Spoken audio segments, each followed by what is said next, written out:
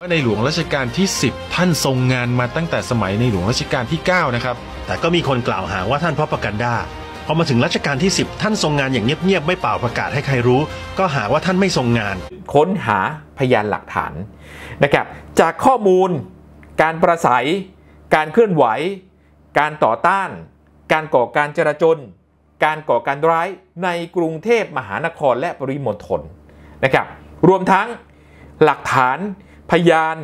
การโอนเงินของกลุ่มการเมืองและพักการเมืองนะครับจึงเข้ามามีส่วนเกี่ยวข้องสำคัญ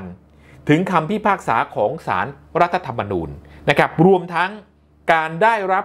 เงินสนับสนุนจากองค์กรต่างชาตินะครับไม่ว่าจะเป็น NGO หรือองค์กรเอกชน หรือกลุ่มการเมือง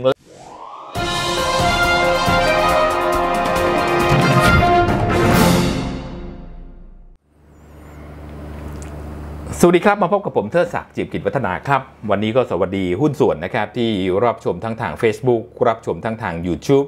รับชมจากนอกในประเทศ วันนี้ประเด็นที่น่าสนใจนะครับเป็นเรื่องของการปฏิรูปสถาบันกษัตริย์นะครับซึ่งปรากฏว่ามีการเคลื่อนไหวของกลุ่มม็อบ ที่ชื่อว่ากลุ่มรัษฎร 63 เยาวชนปลดแอกนะครับมีการเรียกร้องที่จะมีให้มีการปฏิรูปสถาบันพระมหากษัตริย์ เราไปดูในเชิงปรากฏการณ์ก่อนนะครับว่าตั้งแต่อดีตที่ผ่านมาตราบจนถึงปัจจุบัน สถาบันพระมหากษัตริย์ได้มีการปฏิรูปอะไรไปบ้าง ทุกวันนี้มีคนออกมาเรียกร้องให้ปฏิรูปสถาบันพระมหากษัตริย์ จนเลยเถิดไปถึงคำพูดที่ว่า ถ้าสถาบันพระมหากษัตริย์ไม่ปฏิรูปตัวเอง ก็ไม่ต้องมีแล้วรู้ไหมครับว่าข้อเรียกร้องเหล่านี้เป็นคำพูดที่ร้ายแรงเข้าข่ายกบฏได้เลยนะครับ ซึ่งจริง ๆ แล้วเนี่ยถ้าเราดูให้ดีนะครับส ถาบันพระมหากษัตริย์ ปฏิรูปตัวเองอยู่ตลอดเวลา และก็ปรับตัวมาตั้งนานแล้ว ตั้งแต่การเริ่มจัดระเบียบประเทศ ฟื้นฟูศิลปะวัฒนธรรม ไปจนถึงการนำความรู้ที่เป็นสากลของอารยประเทศกลับมาพัฒนาบ้านเมือง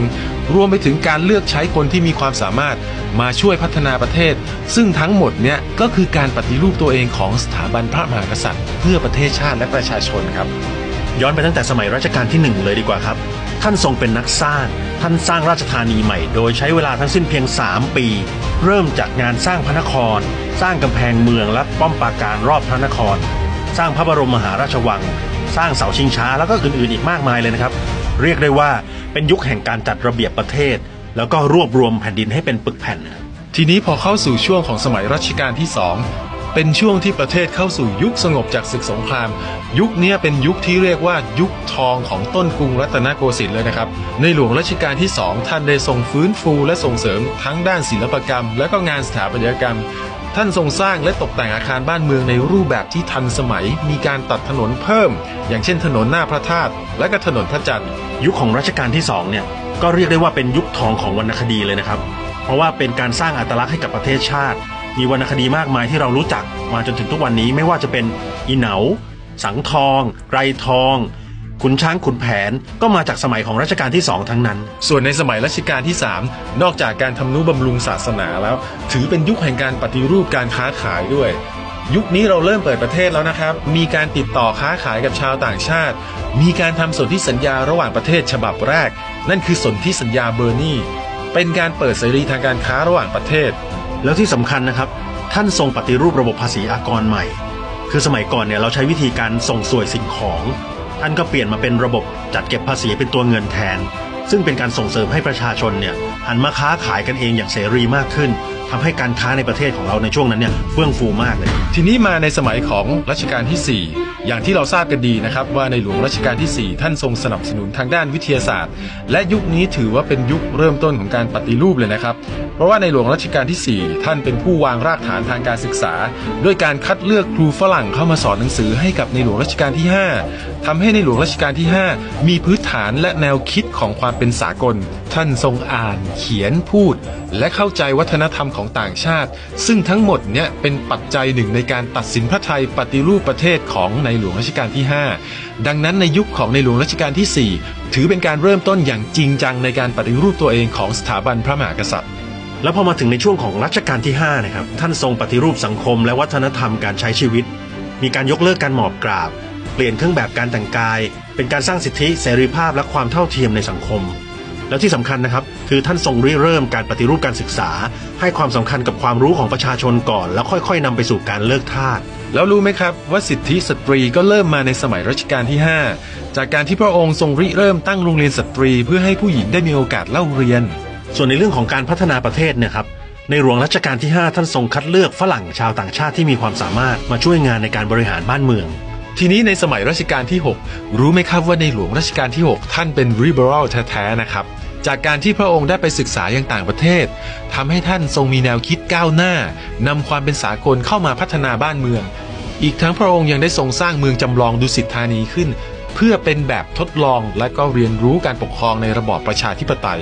แล้วพอมาในสมัยของรัชกาลที่7นะครับเรียกได้ว่าท่านทรงเป็นกษัตริย์นักประชาธิปไตยเลย ท่านทรงมีแนวคิดริเริ่มในการปฏิรูปการปกครองนะครับ ท่านทรงมีความคิดที่จะสร้างระบบเทศบาล เพื่อให้ประชาชนได้เรียนรู้การปกครองในระดับท้องถิ่น ก่อนที่จะพัฒนาไปสู่ระบบรัฐสภา ซึ่งจริง ๆ แล้วในหลวงรัชกาลที่ 7 ท่านตั้งใจแน่วแน่จะให้รัฐธรรมนูญแก่ประชาชน มาตั้งแต่ก่อนพศ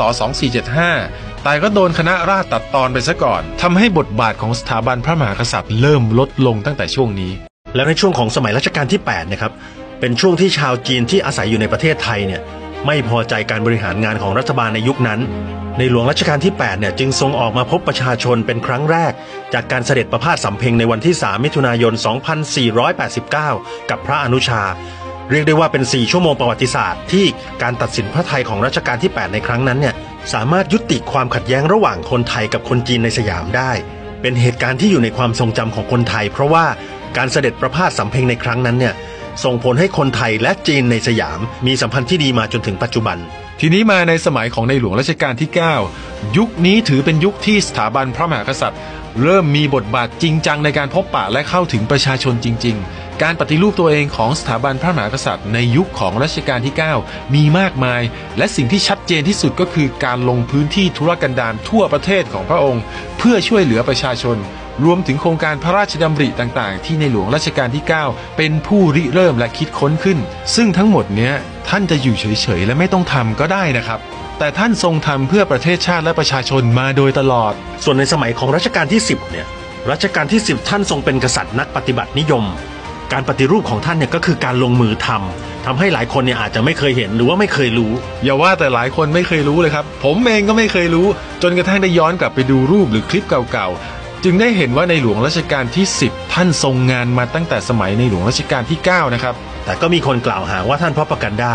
พอมาถึงรัชกาลที่ 10 ท่านทรงงานอย่างเงียบๆไม่เป่าประกาศให้ใครรู้ ก็หาว่าท่านไม่ทรงงาน แบบนี้เนี่ยถ้าไม่เรียกว่าอาคติก็ไม่รู้จะว่ายังไงละส่วนการเข้าถึงประชาชนเนี่ยนะครับ ในหลวงท่านก็ทรงไม่ถือพระองค์นะครับ อย่างที่ทุกคนได้เห็นในสื่อต่างๆ ผมว่าท่านก็เป็นกษัตริย์ของประชาชนนะครับ อีกเรื่องที่ทรงปฏิรูปอย่างเห็นได้ชัดนะครับ เรื่องแรกคือทรงจัดการดูแลทรัพย์สินพระมหากษัตริย์ ให้มีการเสียภาษีอย่างถูกต้อง คือตั้งแต่ในปีพศ 2475 เนี่ยสำนักงานทรัพย์สินบริหารงานโดยกระทรวงการคลัง เรื่องนี้ทำให้นักวิชาการหลายคนอย่างสมศักดิ์เจียมธีรสกุล พยายามโจมตีมาตลอดว่าสำนักงานทรัพย์สินไม่เสียภาษี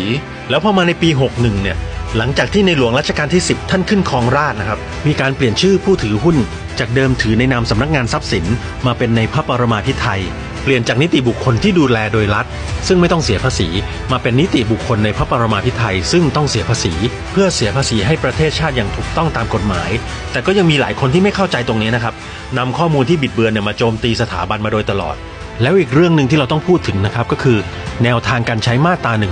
ที่เปลี่ยนไปตั้งแต่ท่านขึ้นครองราชนะครับ เอาจริงนะ ตั้งแต่รัชกาลที่ 10 ท่านขึ้นครองราชเนี่ยถ้าเรามองดูดีๆนะครับแนวทางการใช้มาตรา1นึเปลี่ยนไปแล้วนะ ทั้งคดีความเกี่ยวกับมาตรา1นึที่ลดน้อยลง หรือว่าการอภัยโทษในคดีมาตรา1นึซึ่งทั้งหมดเนี้ยสื่อต่างๆ ไม่ว่าจะเป็นประชาไทยสอศิวลักษ์หรือว่าสื่อฝั่งซ้ายหลาย ๆ สื่อต่างก็ยืนยันตรงกันในเรื่องนี้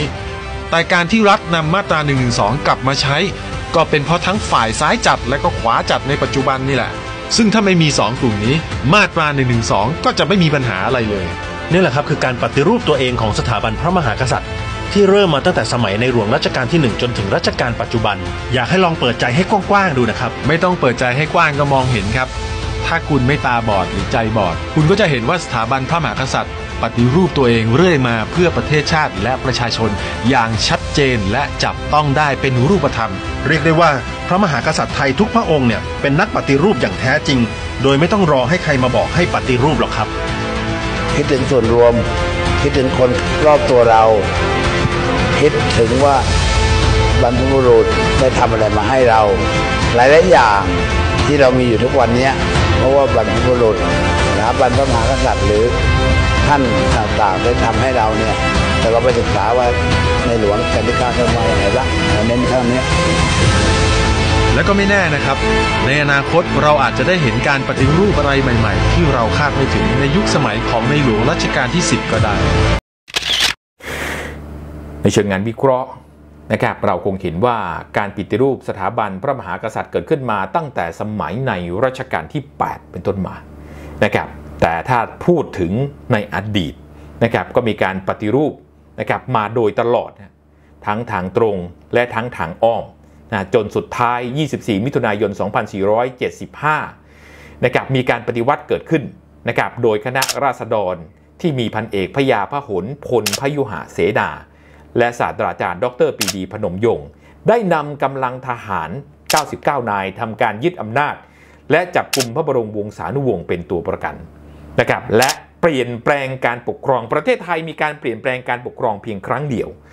นะครับตราบจนถึงปัจจุบันนะครับหลังจากนั้นคณะรัษฎรก็โดยส่วนใหญ่ในการปฏิวัตินะหรือที่เรียกว่าการรัฐประหารนั้น เป็นการรัฐประหารโดยคณะรัษฎรนั้นยึดอำนาจกันเองนะครับจากวันนั้นจนถึงวันนี้นะครับสถาบันพระมหากษัตริย์มีการเปลี่ยนแปลงมากมาย มุ่งเข้าสู่ประชาชนช่วยเหลือประชาชน เป็นสำคัญแต่ประเด็นในเชิงงานสังเคราะห์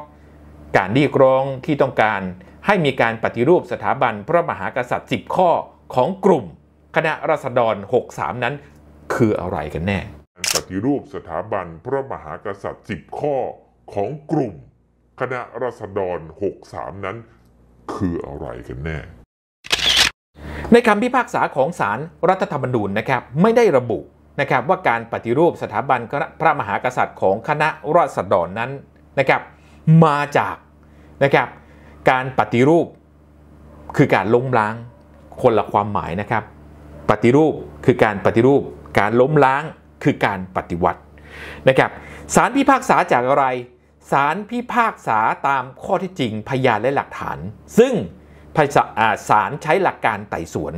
สืบค้นหาพยานหลักฐานนะครับจากข้อมูล การประสัย การเคลื่อนไหว การต่อต้าน การก่อการจราจน การก่อการร้ายในกรุงเทพมหานครและปริมณฑลนะครับรวมทั้งหลักฐานพยาน การโอนเงินของกลุ่มการเมืองและพักการเมืองนะครับจึงเข้ามามีส่วนเกี่ยวข้องสำคัญ ถึงคำพิพากษาของศาลรรัฐธรรมนูญนะครับรวมทั้งการได้รับเงินสนับสนุนจากองค์กรต่างชาติ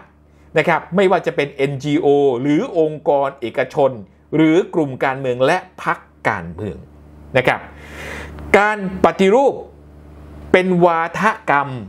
ของกลุ่ม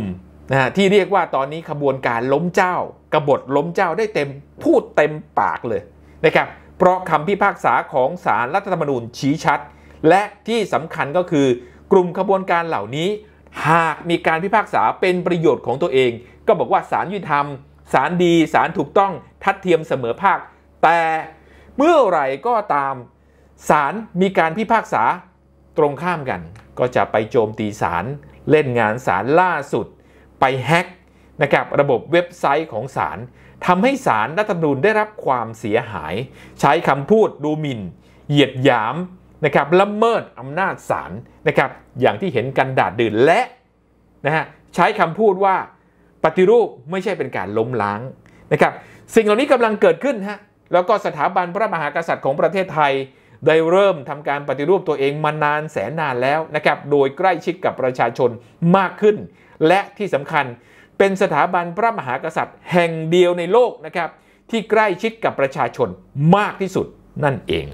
ขอบคุณที่บอกต่อขอบคุณที่แชร์ต่อขอบคุณที่เล่าต่อ ขอบคุณที่ร่วมสนับสนุนสถานี ขอบคุณที่ร่วมกันทำความดีเพื่อความดี ผมเทอศักดิ์เจียมกิจวัฒนา สวัสดีครับ อย่าลืมกด subscribe และกดกระดิ่งด้วยนะคะ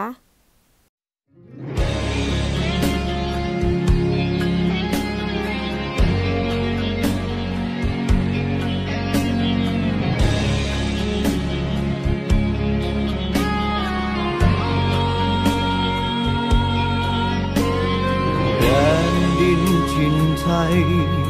มันคงอยู่ในยุคของโลกใหม่ ราชาอีกองค์ ผู้ทรงนำสยามให้ก้าวไป มหาวชิราลงกรประดุดดังแสงส่องทางผู้คน เปิดให้ฟ้าเรื่องร้องของชน ล้อมรวมใจ ทรงดำเนินติดดิน รู้ความเหนื่อยก็เหมือนเช่นใครใครๆทรงงานอดทน เพื่อปวงชน ภาระนั้นมากมาย เหมือนที่ทรงสัญญา จะทำเพื่อมวลประชาได้อยู่ดี จะอุทิศกำลังที่มี ทั้งใจกาย หัวใจแกร่งในเพลงของใครผ่านด้วยจิตวิญญาณทหารไทย เพื่อมาทุกภูมิแห่งนี้ที่เรา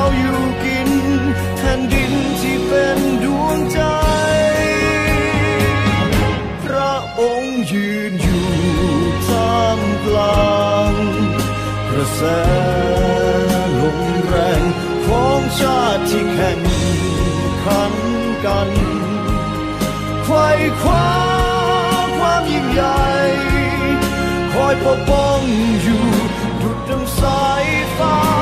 ที่คุ้มกันยามมีภัยนี่คือศูนย์รวมดวงใจใจเป็นหนึ่งร่วมกันทรงเพียรเรียนรู้ ทุกเรื่องราวสร้างสรรค์ให้บ้านเมือง ตามรอยพระบิดา พัฒนาสยามให้รุ่งเรือง มหาวชิราลงกรณประดุดดังแสงส่องทางผู้คน เปิดให้ฟ้าเรื่องร้องของชน ล้วนภูมิใจ หัวใจแกร่งในเพลงของใครผ่าน ด้วยจิตวิญญาณทหารไทย เพื่อมาทุกภูมิแห่งนี้ ที่เราอยู่กินแผ่นดินที่เป็นดวงใจจงมาเจริญจงมาเจริญจงมาเจริญพระองค์ยืนอยู่ท่ามกลางกระแส